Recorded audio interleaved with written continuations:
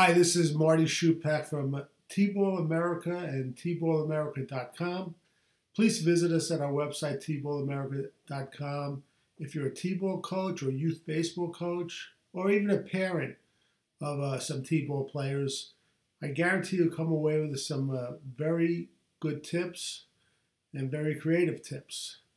Today, I want to talk about uh, coaching with the what I call the progression method.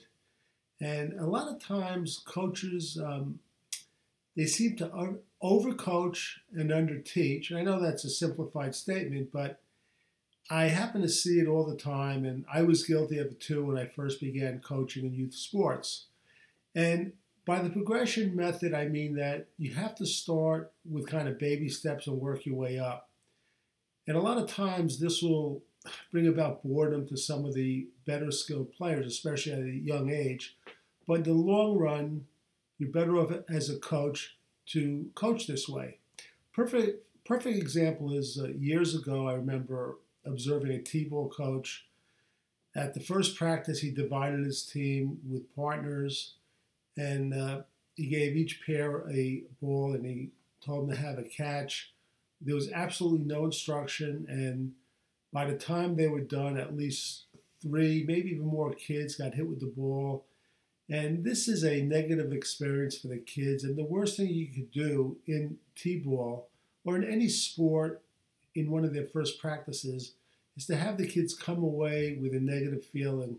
You want to put them in a position to succeed. I know I've said this over and over again, but it really is the best thing to do, especially in T-ball. You want to you want to keep it as non-competitive as possible.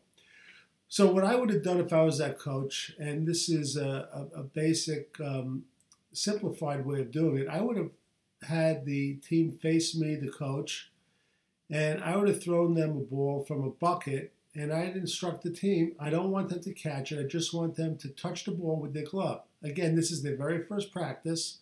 Some of the players can catch it, but I'm telling even those players, don't catch the ball, touch it with the glove, and let it fall to the ground. And do not pick it up and throw it back to me or throw it back to the coach. Remember, you want to separate skills. I would continue to do this. The first one goes to the end of the line. Now, if you want to be a little more efficient, which I would do, I would get one or two assistants to have their own line with their own bucket of soft covered balls and have them face the coach and have them touch the ball after he throws it to them. Again, you only have to do this for like five to 10 minutes. But think about it.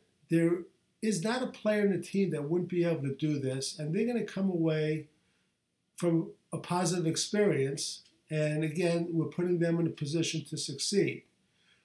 You, you should do this on almost all aspects of T-ball, as far as catching, as far as throwing, as far as hitting off the tee, as far as running the bases, as far as keeping their position on the field. Because as you know, T ballers tend to crunch up into a scrum if the ball is hit in between different players.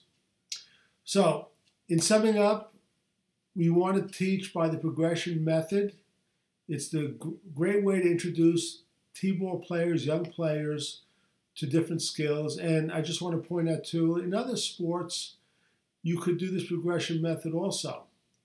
Okay, and a perfect example is if a player is going to learn how, a high school player is going to learn how to shoot a three point shot. You you don't want to take him beyond the three point line and have him start shooting there. You want to build up to that. Some related um, resources would be the 59 minute baseball practice video. You can get it at Amazon Prime Video for free if you type in my name. Marty Schupak, S C H U P A K. Another resource would be um, the T-ball skills and drills, either the video or the book. Uh, backyard baseball drills video, and there's an article on this in the book Baseball Chronicles.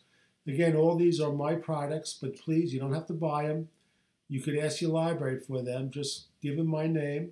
Tell them you want to take it out of the library. If they don't have it there, they'll get it from another library. So for T-Ball America and tballamerica.com, This has been Marty Schupak.